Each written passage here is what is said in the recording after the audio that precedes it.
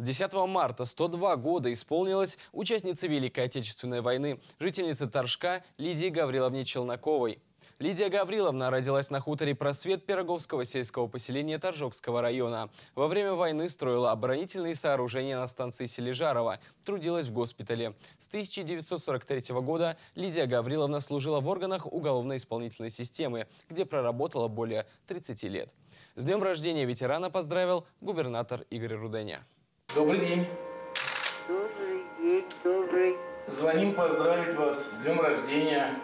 Вы у нас э, самый заслуженный ветеран э, в Тверской области, который представляет э, нашу СИН. И вы являетесь примером для молодых коллег, которые сегодня работают. И хочу сказать э, самые искренние слова благодарности и поздравления в этот знаменательный день.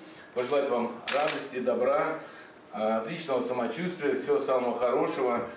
И чтобы все ваши домашние равнялись на вас.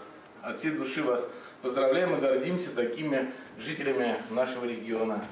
Спасибо большущее, большущее спасибо.